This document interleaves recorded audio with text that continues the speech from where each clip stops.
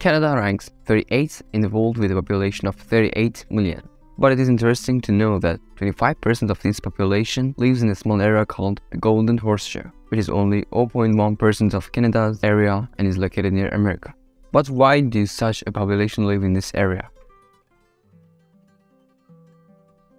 Welcome to another video from the Geography Tour channel. Canada is a very large country, even larger than China and the United States, which makes it second and ahead of Russia.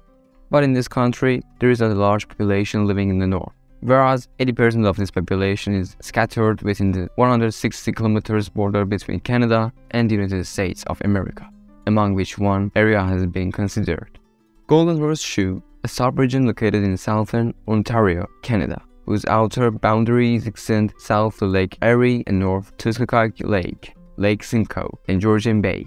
The Golden Horseshoe has a population of over 9 million people, which means that one out of every four Canadians lives in this area, and also constitutes 54% of the population of Ontario, which makes it the most populated and industrialized area in Canada.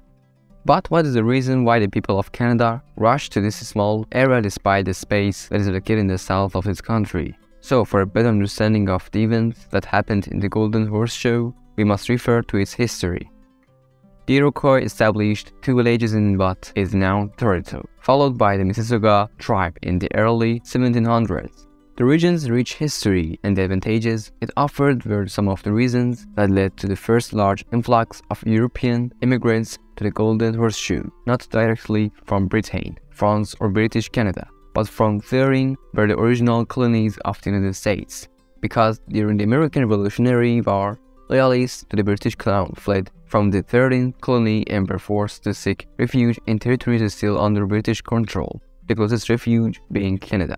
So the royal family of Great Britain at that time granted these settlers land inside the Golden Horseshoe, partly as compensation for what happened 13 colonies of the United States.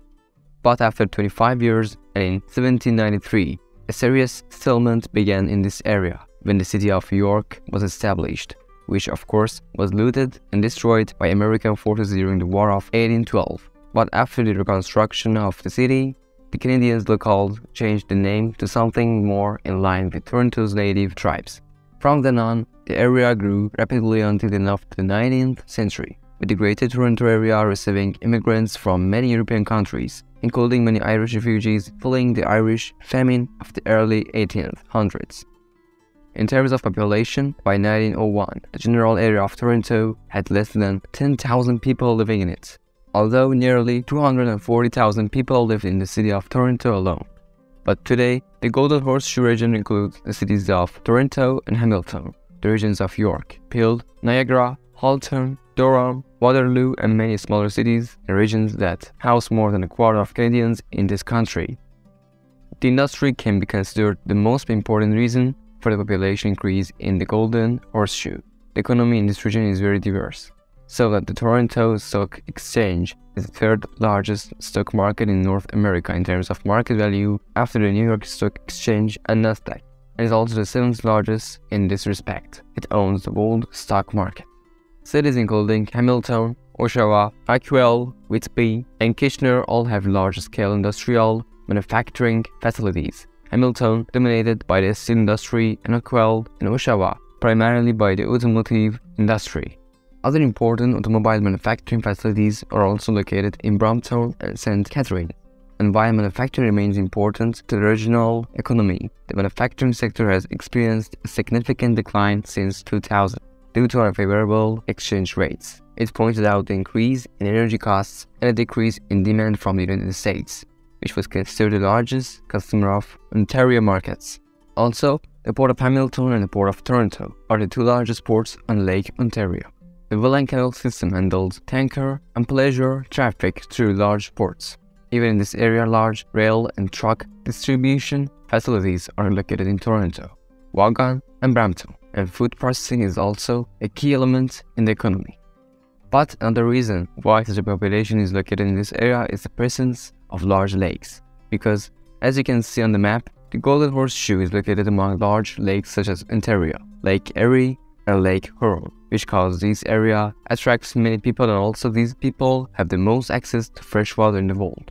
and it has made the Golden Horseshoe as the best and richest region in terms of agriculture in Canada. And this has also been a proof of the early life of the immigrants in this region, and is currently a main element for the people of this region.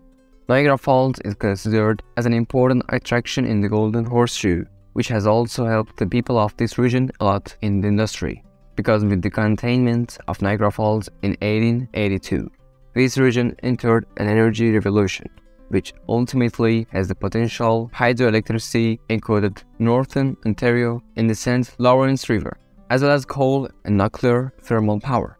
After 1900, with the construction of the railway in northern Ontario, major discoveries of minerals, including silver and gold, were also made, and in addition, the forest industry expanded as pulp and paper and became the main export goods which caused the export industry to grow well in the Golden Horseshoe and bring a lot of wealth to them.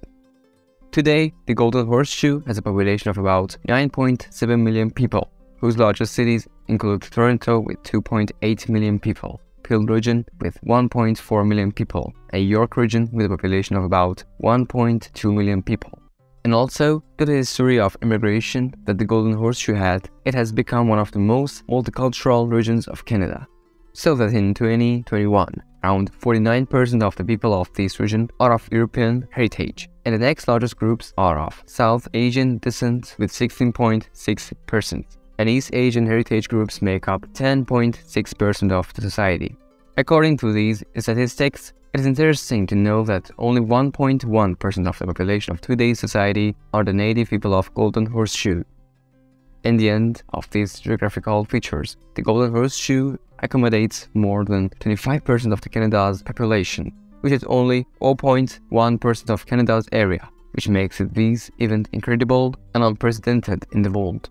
Economically, this area is also considered as the economic pillar of Canada, and with the huge resources that it has been able to use with good management, it has been able to bring great wealth to this country and create a large market all over the world. I hope you enjoyed this video and got some useful information about the golden horseshoe. So if you liked the video, it is better to like it and share it with your friends. And if you're interested in geography, subscribe to the Geography Tour channel. I'll see you in another video.